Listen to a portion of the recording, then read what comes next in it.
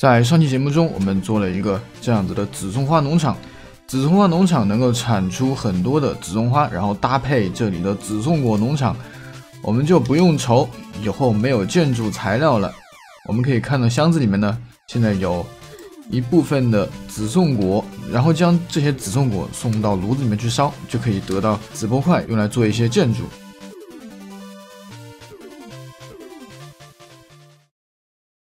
好，我先来说个教。我们今天的任务呢是要来做一个全物品。虽然在我们单机生存当中，全物品的作用不是很大，但是可以用来装逼。来，这装逼全物品加载了吗？哎，这什么东西啊？谁告诉我这这是出什么 bug 了？这是什么 bug？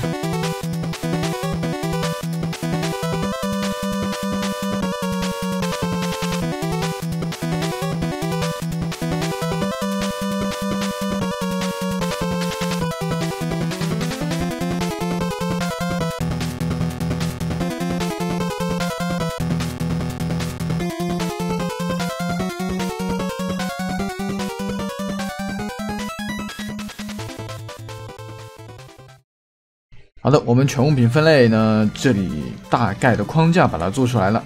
这边的装饰有两个小池塘，我们可以简单的来看一下，这个也没有什么好说的。这中间是一个门，这个传送门，我们从地狱交通，然后走到主世界这边，门在中间，就我们就很方便的能够拿到各种物品。这里一共分了有四个方向，其中有一个方向呢，这一边这边的箱子就只做了。一个分类，我们可以看到这后面就仅仅只有一个分类，这边是用来储存可能会产生大量的物品。我们可以把投影调到下面来看一下，这里呢我分类有原石，还有石头，还有这种烧制过的石头、玻璃、沙子、泥土之类的，这些都是可能会产生大量的物品。所以呢，我们同一种分类。提供了有五个箱子，然后这边也是，这边主要是存的是混凝土。由于混凝土，我们可以以后做一个混凝土机啊。虽然我们一点一六那个档做了有十八万的混凝土机，但是我们这个一点一四的存档呢是没有十八万的混凝土机。当然以后也会做好。然后我们再来看一下这边，这边主要是我们做用来施工红石工程的一个分类。这边有活塞，还有发射器。其他的我们还看不到啊，我们要把它调高一点。这里放的有一些追气比亚器，一些红石元件，还有铁轨，以及我们做红石工程经常会用到的一些常用的方块，比如冰块、黑曜石、半砖、玻璃啊，这些我并没有把它单独的放到放到装饰类的方块那那边啊。其实你把它放过去也可以，或者两边都给它做上这样子分类也可以。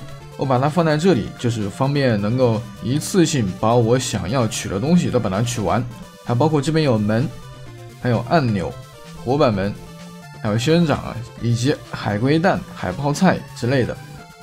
然后这边还存了一些常用的一些材料，包括怪物的掉落的一些产物，还有第三层的啊什么雪球、木棍也是用的比较多的一些材料。好，我们再来看一看这一头，这一头呢，主要是按照颜色来分类的。这里左边全都是彩色玻璃，哦，还有彩色羊毛地毯，这边是彩色的旗帜，底下呢是染了色的陶瓦，好，这一层是燃料，最上面呢是各种颜色的单釉陶瓦。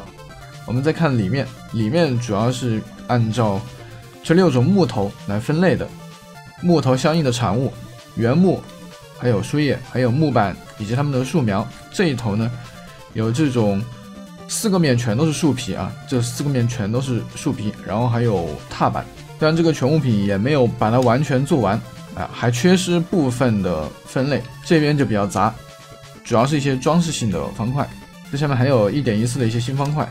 然后后面还有一些方块并没有把它展示完，这边还要往后面扩建。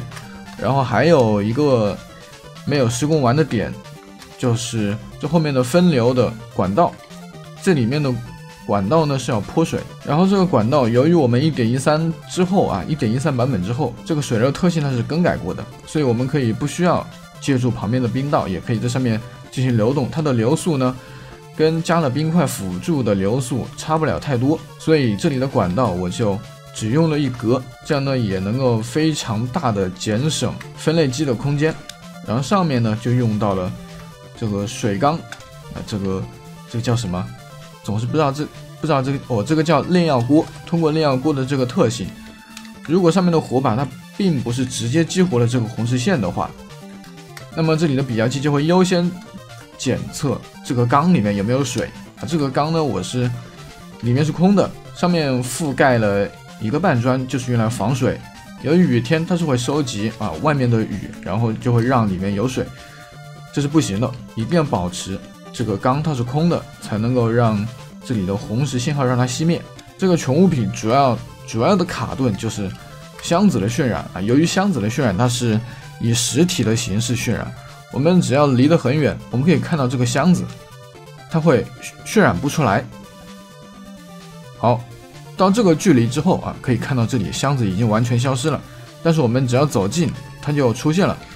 它这种渲染就比较特别，它并不是以方块的形式渲染，它是以实体的形式。所以只要电脑不太好的啊玩家的话，你们进入全物品可能就会感受到那种卡顿。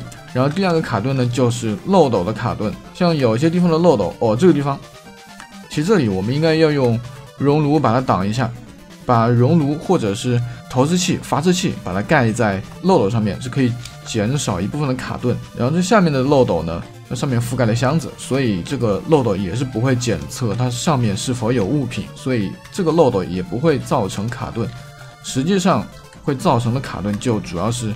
这里的水流管道这一排的漏斗，然后漏斗下面的漏斗呢，也是会造成卡顿的。不要看这个漏斗上面，它压着一个漏斗，它一样还是会不断的检测这里是否有物品掉进去。